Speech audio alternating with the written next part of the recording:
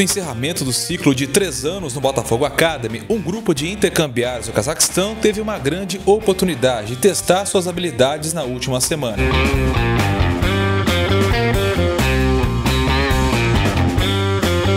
Os asiáticos enfrentaram a equipe sub-17 do Palmeiras em jogo amistoso realizado em Guarulhos, na Academia de Futebol 2, local onde as categorias de base do Verdão fazem os seus treinamentos.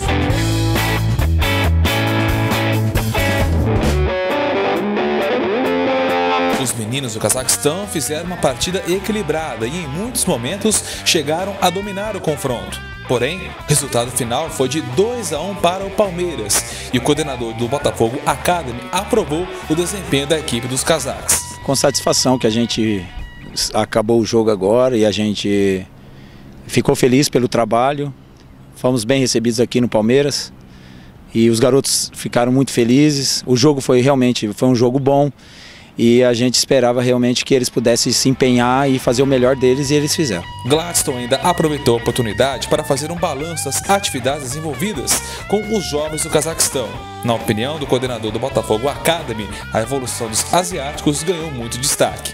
É, todo grupo né, que chega, realmente ele vem de, algum, de várias cidades do país lá, né? Então eles não se conheciam. Aí você tem que montar um trabalho, conhecimento de grupo, é, colocar a parte tática, a parte física, trabalhar um pouco mais a parte técnica. E eles foram, no decorrer do trabalho, foram ganhando, né? Dentro das, das capacidades deles também, porque o brasileiro já é uma coisa mais nata, o brasileiro já é uma coisa que, desde criança, né? O ambiente do futebol brasileiro já leva a criança a jogar futebol.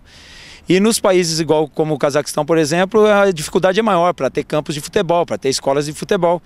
E realmente dentro do que eles veem, o lastro deles de atividades do futebol, a gente vê com bom êxito o final do trabalho.